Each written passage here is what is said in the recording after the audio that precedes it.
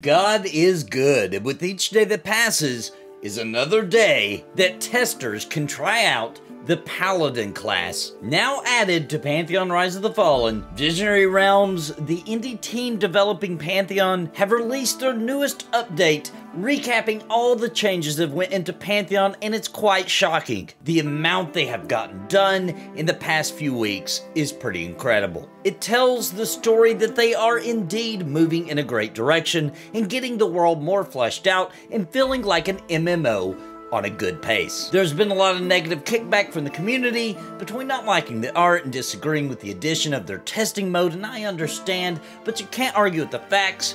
We'll break down what Visionary Realms has been up to with Pantheon development, and it's quite impressive to say the least. My name is Nathan, I cover MMOs and RPGs, so please hit that like button like it owes you money and subscribe for more. So first up, if you know me, you know I've been waiting on the Paladin class for quite some time now. And Joppa promised a few weeks back that he would get the Paladin and the Warrior into testing before Christmas. Well, here we are, a few weeks later, in early November, and the Paladin is in. We're gonna break down all the abilities the Paladin has currently, and I'd love to show you the gameplay footage, but it's all under NDA. But fret not, I'm in talks with the developers to get this Paladin in your face to see as soon as I can get permission. Now, before we dive in on the Paladin, let's talk about the other additions to Pantheon Rise of the Fallen from the past few weeks of development.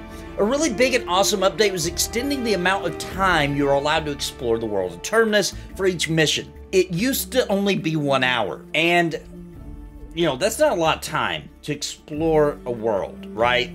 They did double that. It is now two hour sessions before you must leave and go back to the tower to prepare for the next adventure. Now, two hours has a much better feel to it, and it makes this mode infinitely more playable and enjoyable, in my opinion. They also have adjusted out of combat health and mana regeneration for it to be faster, and they've added a ton of new textures to armor. They've also added some new items to the loot table, many gathering and crafting updates as well, such as Animations for trees falling when you're logging, new craftable items, the ability to craft chain and plate armor. Players can now tan thick leather, and a ton of balancing and tuning to the crafting and gathering professions. They've also done new cave art updates, including a complete revamp of the Goblin Cave. The small town of Avalia also had their docks and their well completely revamped. The night sky has been remade, but they did say they still need to add that second moon the lighting system for caves is also in. They've added more combat abilities to NPCs. Abilities such as Grip Line, Mark of the Fireclaw, Skyman's Pact, Windstrider, Awaken Line, Writ of Refreshing, Erudite Mind, and Lyris Grace can all be used by NPCs during battles. There have also been a ton of class updates to the Cleric, the Shaman, and the Enchanter due to data and player feedback. Synced doors can now be opened and closed by players with the system for keys to unlock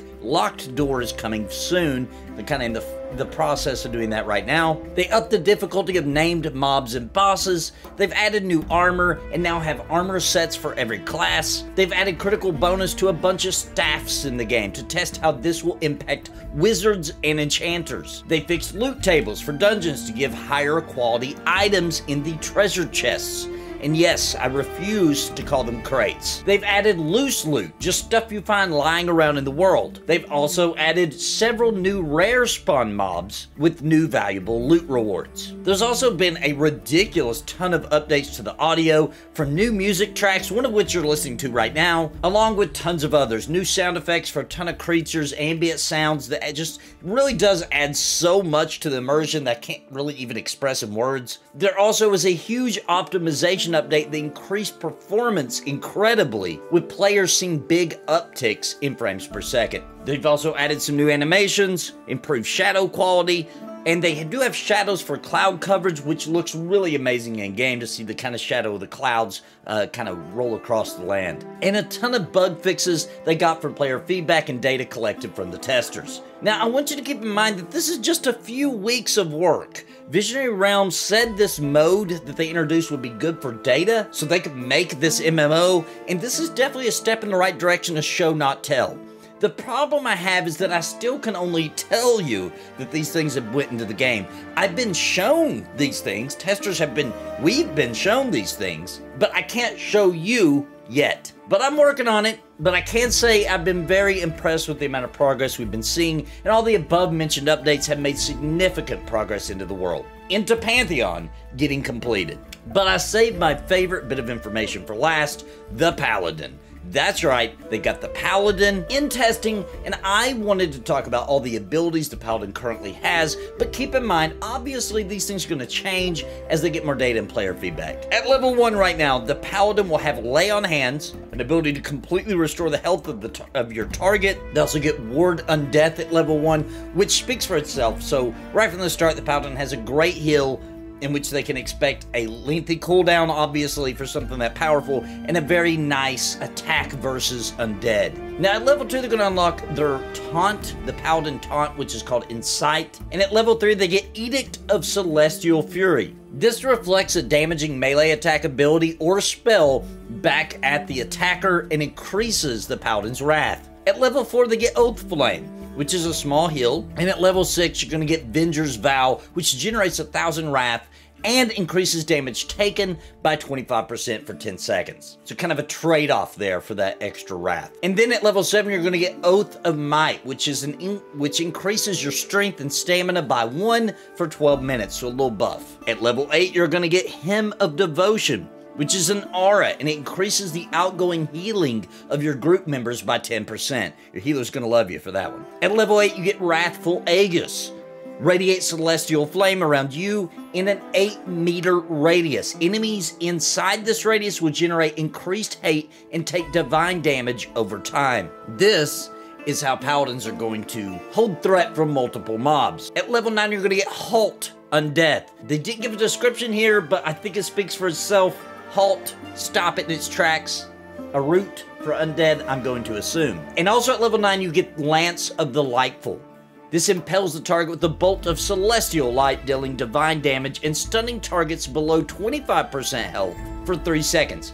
It's very common in games like EverQuest um, and old school MMOs that once the, the enemy's health gets lowered, they try to run away. This will come in handy for stopping them from getting away and attracting more mobs. Maybe running, maybe the enemy's running into a pack of mobs, not good. You're about to get trained. You can use this, a paladin can use this ability, stun it, and hopefully kill it real quick.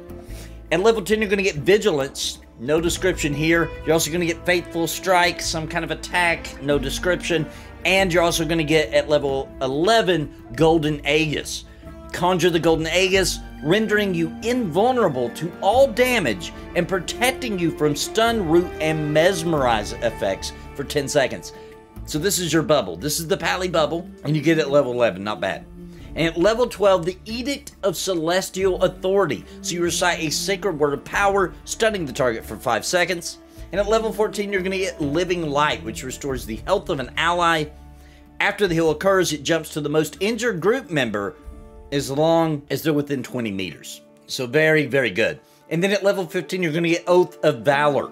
Increases your strength and stamina by 2 for 12 minutes. So all this is actually in testing right now. If you are a pre-alpha tester, you can't play the Paladin, these abilities are in. And already I think the Paladin is living up to the class fantasy in my opinion. And I'm extremely excited for the day I get to show off the Paladin to all of you. Whether Visionary Realms lets me stream it or make a video on it, I just look forward to it. I will not stop asking until they let me do it. And I just want to say, we got the Warriors still coming in the next month and a half, along with more updates in progress. Pantheon is on the right track. They aren't off the rails like many would have you believe, and I understand that some of you are confused or not quite understanding what Visionary Realms is trying to accomplish with the mention of a mode may in that you know mode may bring some memories of some other projects to mind but trust me although I understand where you're coming from, it's different here because this mode puts you directly in the world of Pantheon. You know, the one they're working on that all these updates went into.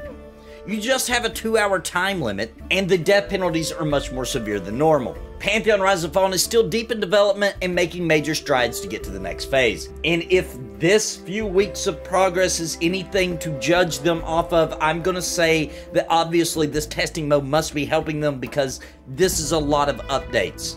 coming very fast. They mentioned they're doing a couple of patches per week because that's just how much data they're getting and how fast they're able to react to that and get things into the game. And mix that in with the fact that this art change are able to get more creatures and models and make the world quicker and it does appear that all these things are actually happening. So good job Visionary Realms on the updates and the hard work. Keep it up I say. And I hope you enjoyed my recap of all the recent updates and I hope you're as excited as I am about the Paladin, that finally it's in Pantheon, and that the warrior is right behind it. And then we'll have all three of the tanks for release in the game. Leave me a comment and let me know if you agree that this is a big, healthy amount of progress from the past few weeks. And until next time, my friends, God bless and happy gaming. I want to give a very special thank you to the members of Napalm for your contributions month over month in keeping me full time. You help me pay the bills so I can keep streaming and pumping out content, and I truly appreciate all of you. Thank you so much. And I think you might be interested in becoming a member of the channel. Please click the join button down below the video for more information and join our family. And I want to give an extremely big shout out to the Lords of Napalm, Bounty Code, Jared Woodhouse, Daimlos, Sparrow, Random Rob, Rodney Mom, Galerain Moonsong, What's the Takeaway? Bad Wolf Gaming, Cobalt, William Long, Robert Daneka, Ohalo, and Angel Tari. Thank you for your highest tier membership.